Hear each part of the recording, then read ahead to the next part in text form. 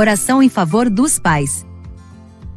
Vocês conseguem imaginar como seria se os pais de vocês não conhecessem Jesus? O que vocês fariam? Muitas pessoas que moram em Laos, um país da Ásia, não conhecem Jesus. Assim como essas pessoas, os pais de Singam também não conheciam Jesus. Eles não eram cristãos e nunca tinham entrado em uma igreja. Singam amava Jesus e queria que seus pais o conhecessem. Mas, como?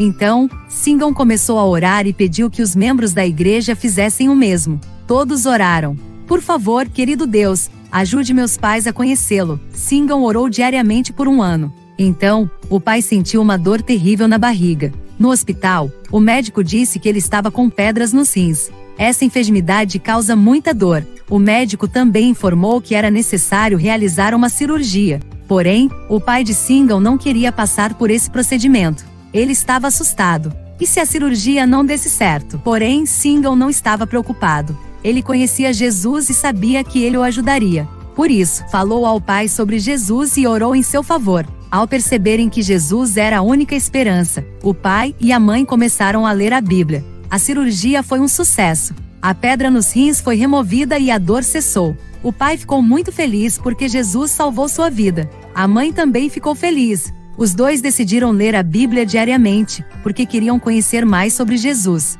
Singam ficou muito feliz e agradecido. Jesus havia respondido às suas orações e seus pais estavam começando a conhecê-lo. Porém, enquanto os pais estavam aprendendo mais sobre Jesus, o pai adoeceu novamente. Sua barriga doía. O médico procurou outra pedra nos rins, mas nada encontrou. Durante um mês e meio, o médico procurou a causa da dor, mas não conseguiu encontrar nada. Singal não sabia o que fazer. Ele não entendia porque o pai tinha adoecido novamente. Então, orou a Jesus clamando pela cura do pai. Finalmente, o médico disse que iria fazer uma cirurgia. Não conseguimos encontrar a causa da sua doença, ele informou. Então, vamos abrir a barriga para ver o que está causando a dor. A cirurgia durou 30 minutos. Ao sair da sala, o médico disse: Desculpa, mas não consigo ajudar seu pai.